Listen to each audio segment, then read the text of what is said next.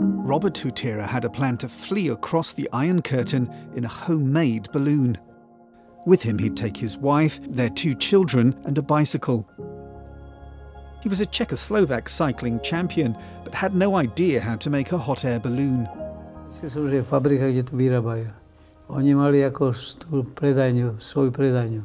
Tak som tam išiel, som povedal, mal som fingovanú objednávku ako, ako stilistického dielu.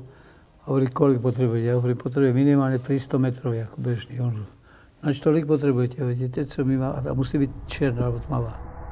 The border couldn't be crossed on foot. Mrtvých na hranicích jsou stovky. Některé části toho oplocení měly v sobě eh, několik tisíc voltů, eh, kdy eh, v podstatě ten, kdo se k tomu přiblížil, případně se toho dotkl, tak dostal tak vysokou ránu, že v podstatě na místě uhořel. Ten systém byl ale následně změněn, dokonce některé úseky státní hranice byly i zaminovány. The audacious escape began on the night of September the 7th, 1983. Day before, I just removed my car seat. I just put back, and day before, I just go over there. Already I know. I just take over there, place, put the balloon, put the, you know, the branches. And next day, I just came just only with car, remove over there, and that's it. Disaster almost struck within minutes as the basket caught on a tree. Hutyra was able to unhitch the balloon and soon they were soaring. It was three kilometers high. It was we just break clouds and it was beautiful to looking on the clouds. It was like like like when you see nice ocean. It was like this one, these clouds. That's bit. We never. We just everybody was looking. As they approached the border, a guard below noticed the flame of the gas burner. A flare illuminated the sky, and searchlights were switched on. Hutyra had fitted a steel plate to the bottom of the basket to protect them from bullets. The border guard didn't open fire. Fifty minutes later, they realized they were flying over Austria. Czechoslovakia was dark villages.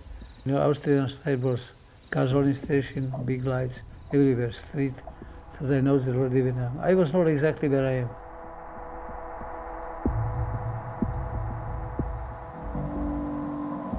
By the ruins of a castle, Austrian winemaker Matthias Pessau was working late. Suddenly he heard a hissing noise outside and went to see what was happening. Ja, es war äh, für mich äh, unverständlich. Ich hatte äh, einen Heißluftballon in unserer Gegend nie gesehen. The balloon crashed into vineyard poles. Pessau was the first to arrive. When he spoke in German, the family knew they were free. Ich habe mir schon Gedanken darüber gemacht, äh, denn der Ballonflug war ja doch eine gefährliche Angelegenheit.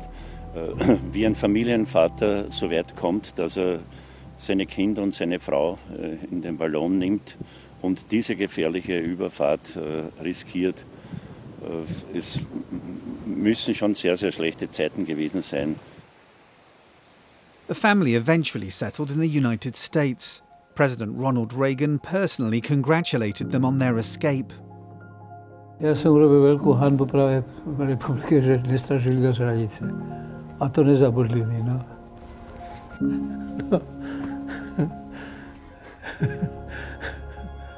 Twenty-five years later, Hutyra and his wife returned home. His flight to freedom makes him a living legend.